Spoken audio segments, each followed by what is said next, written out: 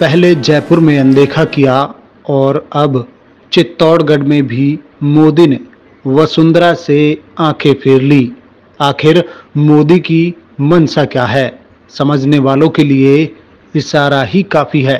मंच पर मोदी और मोदी के दाहिने ओर केंद्रीय मंत्री अर्जुन राम मेघवाल, उनके बगल में नेता प्रतिपक्ष राजेंद्र सिंह राठौड़ और सबसे किनारे वाली सीट पर वसुंधरा राजे बैठी थी। तस्वीरें साफ़ बयां कर रही थी कि वसुंधरा अब किनारे लग चुकी हैं। आज चित्तौड़गढ़ में मोदी की रैली में जो कुछ भी दिखा, उससे महारानी की रही सही उम्मीद भी शायद टूट सी गई।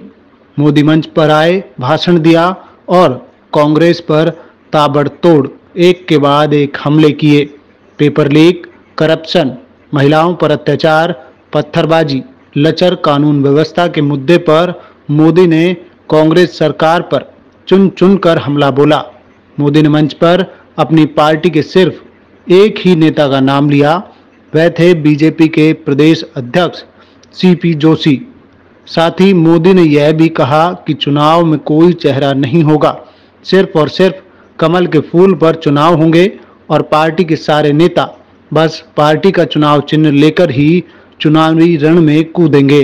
सीपी जोशी जी तो इसी क्षेत्र के प्रतिनिधि हैं।